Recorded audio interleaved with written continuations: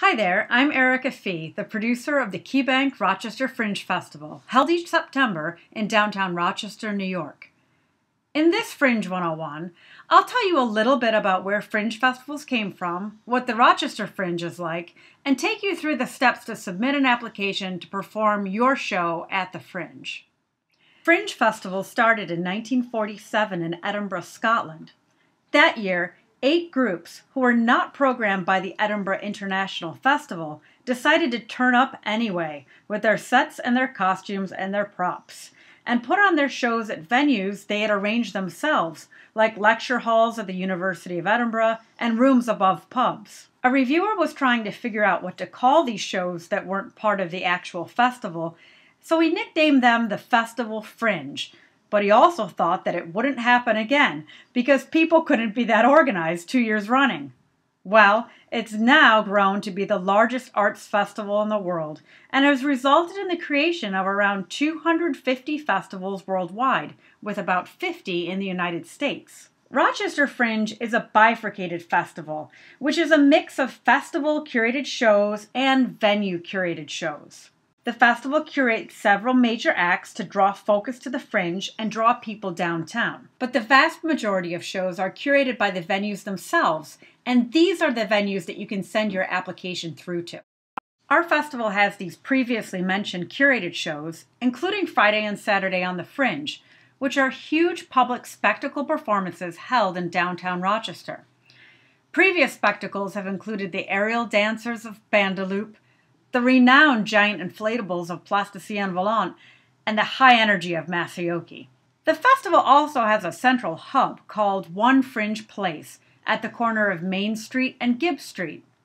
At One Fringe Place, you can find the Spiegel Tent, which is an imported Belgian music hall.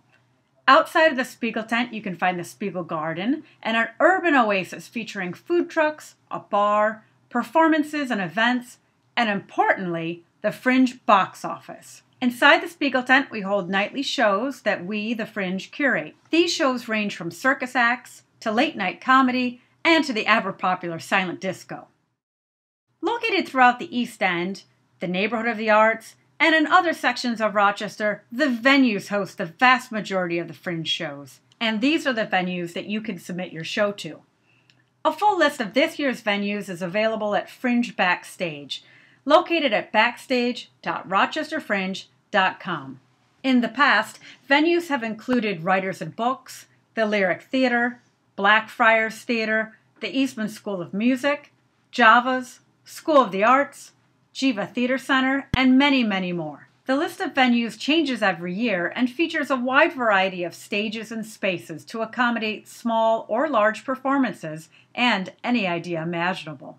Fringe is also a fantastic way to perform a site specific or a site responsive show in a non traditional space.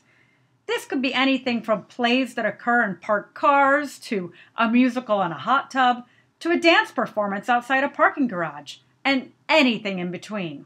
If you have an idea for a site specific show, please choose site specific as the venue you apply to during the application process. So, how do you submit your show to one of these venues at the KeyBank Rochester Fringe Festival? Well, you'll need to go to Fringe Backstage at backstage.rochesterfringe.com and make a free account. You'll want to gather some of your materials ahead of time, as you'll need the name of your show, a synopsis, details on cast and crew size, technical information, and if your show has existed before, any photos, videos, or links to reviews that you have. It's completely free to apply to Rochester Fringe, and we're one of the few fringes in the country without an application fee. Venues will begin reviewing applications immediately, and if they want to make you an offer, they will contact you directly. Similar to the process of applying to college, you may find that you have received offers from multiple venues and you'll have to make a decision. These offers from the venues will include a variety of information on financial deals, the dates and times that they propose that you perform, and a suggested ticket price. An important note is that one of the Fringe's rules is that each show may only perform at one venue.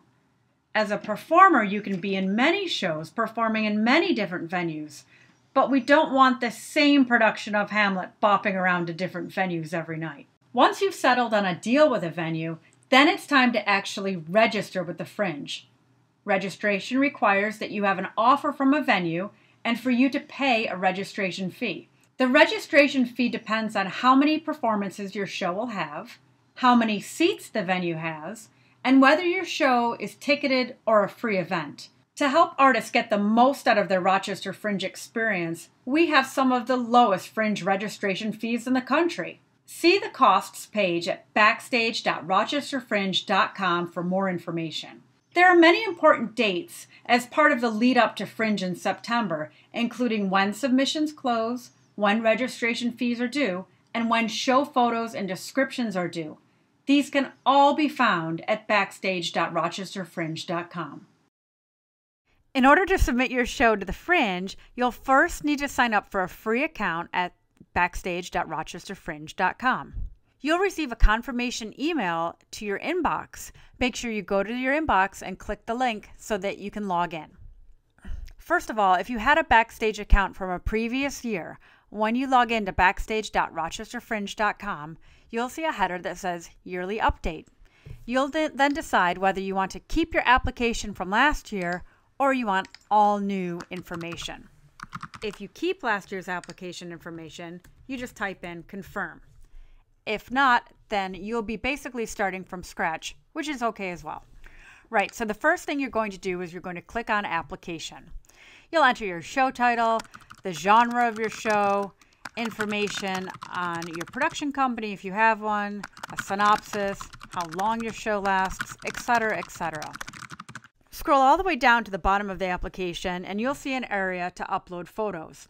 In order to upload a photo, you're going to click on Set Photo 1, and then you can drag and drop or click to upload an image. In order to add the image to your application, you'll need to click again on the actual image that you want, and then at the bottom, you'll click on Use this file. You can also add video links if you have them, although this is not required, and review links. At the very bottom, you'll see Save Changes and click to save. If you have errors, they'll come up in red, and then you'll fix the errors and go back down to the bottom again and click on Save Changes. Now, in order for your application to go through to the venues, this is very important. At the top, you need to click on Submit to Venues. When you're on the venues page, you can see all the different venues that are currently accepting applications. You can click on the venue itself and see what the venue's like. For example, you can sometimes see photos, you can see a text spec of the venues, you can see how many seats it has, etc., etc. In order to submit to that venue, make sure you click on the button below the venue that says Submit to this venue. You can submit to as many venues as you like, but you need to do each one one at a time. After you've submitted to the venue, you'll receive a confirmation email in your inbox saying that your application has gone through to that venue. Your venue manager is now considering your application. You'll be getting an email alert every time this happens, but you can also see this information right at the top, number four, offers. In order to accept a venue's offer, you're going to click on the information that is listed under action. You'll be able to accept or pass on the venue's offer. After you've done that, then you'll go through to registration during the registration process, this is when you can pay your registration fee. You can pay automatically via PayPal, which also accepts debit and credit cards, or you can click on Pay by Invoice and we'll send you an invoice. After you've paid your registration fee, then you'll click on number six, Guide Details. This is where you're going to upload your guide photo. All guide photos are cropped to a square, so please upload a photo that you'd like to crop to a square shape. You're also going to enter in a description of your show. That information is going to go directly to the guide and to the website. After that information is finished, your venue will also add in your performance or event times and dates. You'll be able to see this information under number seven, schedule. You'll also receive an automatic alert in your inbox when these performances or events are scheduled. You've now applied to the Fringe. You've been accepted, you've got your marketing details in, and it's time to start rehearsing or preparing for your exhibit. We wish you the best of luck, break a leg, and we'll see you in September.